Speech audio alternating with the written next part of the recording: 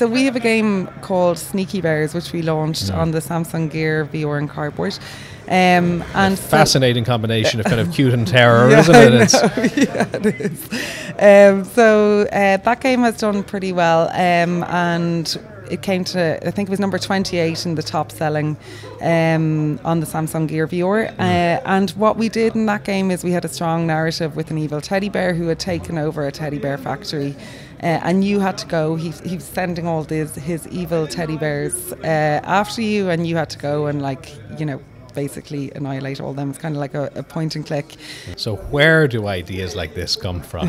you can see that on the App Store and go, well, that obviously was waiting to be made. Yeah, it's successful. It's great. It's fun. Yeah. But but why? Where did that come from? Yeah, like the team we have is amazing. So we do a lot of brainstorming. We actually really enjoy VR, so we play a lot of VR in the office.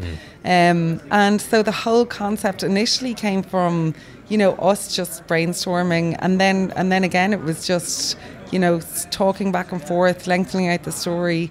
Uh, Keith, one of our developers, really enjoys, you know, storytelling and writing, and uh, he wrote out the initial concept uh, piece. And then again, we got this uh, uh, Brian Upton, this ex PlayStation game designer, to do something a little bit more detailed for us.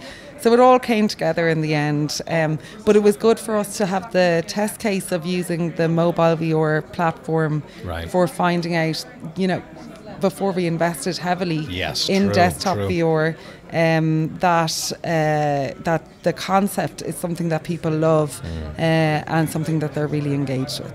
If you have a concept, if you think it's strong enough, obviously make sure you have a solid business case.